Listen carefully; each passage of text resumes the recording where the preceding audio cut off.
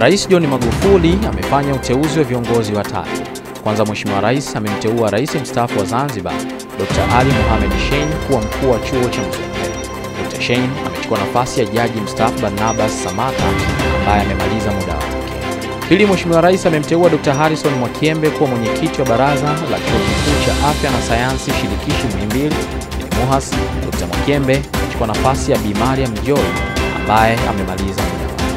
Tatu, Mheshimiwa Rais amemteua Bi Gaudasia Mgosi Kabaka kuwa mwenyekiti wa Baraza la Chuo Kikuu cha Dodoma yani UDOM. Bi Gaudasia ameshika wadhifa huo kwa kipindi cha pili baada ya kipindi cha kwanza kukamilika. Endelea kutufuatilia katika kurasa zetu za mitandao ya kijamii yani Facebook, Twitter pamoja na Instagram, lakini pia kwenye website zetu ile ya Habari Leo, Sport Leo pamoja na Daily News.